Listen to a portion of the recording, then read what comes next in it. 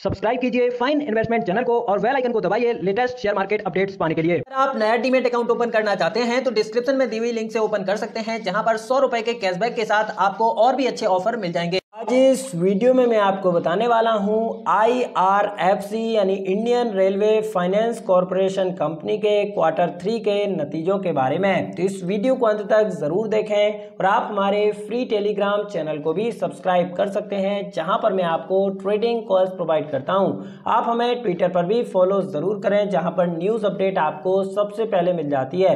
दोनों का ही लिंक आपको डिस्क्रिप्शन में मिल जाएगा।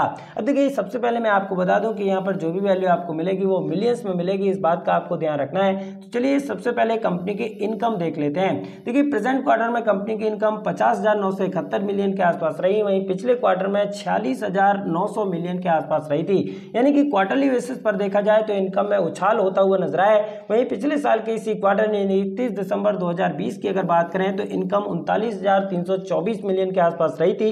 यानी ईयरली बेसिस पर भी अगर देखा जाए तो कंपनी की इनकम में ज़बरदस्त उछाल होता हुआ नज़र आया अब देखिए, बात करते हैं कंपनी के एक्सपेंसेस यानी खर्चों की।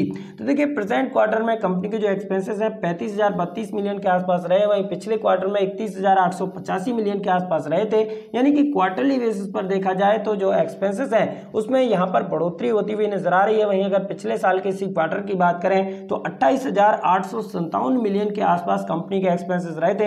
यानी ईयरली बेसिस पर भी इनमें ज़बरदस्त उछाल होता हुआ नज़र आ रहा है। वहीं अगर बात करें प्रॉफिट की और देखिए प्रॉफिट किसी भी कंपनी के लिए बहुत ही ज़्यादा इंपॉर्टेंट होता है। और प्रेजेंट क्वार्टर में अगर प्रॉफिट की बात करें तो पंद्रह हज़ार तीन सौ पंद्रह हज़ार नौ सौ उनतालीस मिलियन के आसपास कंपनी का प्रॉफिट रहा। वहीं अगर पिछले क्वार्टर की बात करें तो पंद्रह हज़ार चौदह मिलियन के आसपास रहा था। यानी कि क्वार्टरली बेसिस पर जो प्रॉफिट है, उसमें उछाल होता हुआ नज़र आ रहा है। वहीं पिछले साल की इसी क्वार्टर की बात करें तो दस मिलियन के आसपास कंपनी का प्रॉफिट रहा था। यानी कि ईयरली बेसिस पर अगर देखा जाए तो प्रॉफिट करीब फिफ्टी से ज़्यादा पर बढ़ता हुआ नज़र आ रहा है, जो कि कंपनी के लिए काफ़ी बढ़िया बात है।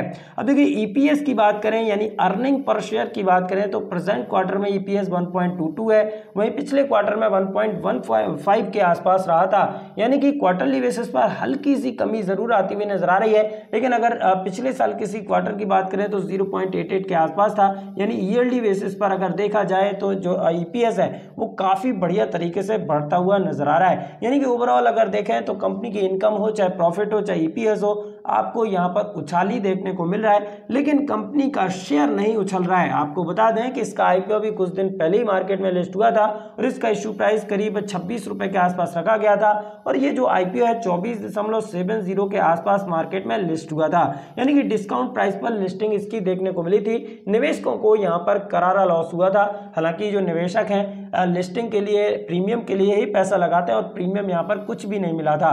फिर उसके बाद उसके बाद ये जो शेयर है लगातार नीचे जाता हुआ करीब बीस रुपए तक का लो इसने बनाया, लेकिन समय समय पर ये छब्बीस रुपए के आसपास भी जाता हुआ नज़र आया। लेकिन छब्बीस रुपए के ऊपर कभी टिका नहीं है। अभी अगर देखें तो तेईस रुपए पर ट्रेड कर रहा है। और देखिए, इसको लिस्ट हुए करीब तीन साल हो डेढ़ साल हो चुके हैं। मतलब यहाँ पर डेढ़ साल हो चुके हैं, लेकिन फिर भी यहाँ पर निवेशकों को कुछ खास रिटर्न मिलता हुआ नज़र नहीं आया। और समय समय पर मैंने आपको बोला भी है कि जब भी छब्बीस रुपए के आसपास या आपके इशू प्राइस के आसपास ये शेयर जाता है तो आपको प्रॉफिट बुक करके दूसरे शेयर में पैसा लगाना चाहिए।